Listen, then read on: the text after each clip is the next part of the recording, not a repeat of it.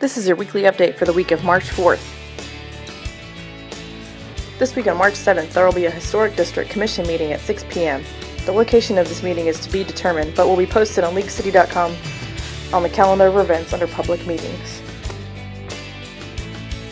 Also, today kicked off Severe Weather Awareness Week. Visit leaguecity.com slash severe weather to see how you and your family can prepare for different types of severe weather.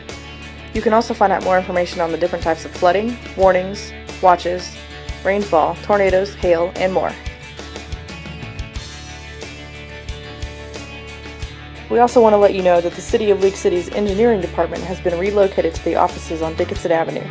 Contact information for the city's engineering department will remain the same with the exception of the physical address. Finally, we want to remind you that just around the corner we have League City Uncorked, a wine and art experience taking place at Walter Hall Park on March 23rd and 24th. Find out where you can buy tickets online at leaguecityuncorked.com. That same week, Texas's biggest boat show is coming to the South Shore Harbor Marina. Southwest International Boat Show will begin on March 21st and will continue through March 24th.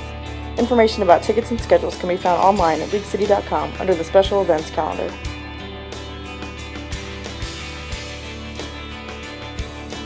That's it for your weekly update. Join us next week to see what's coming up in League City.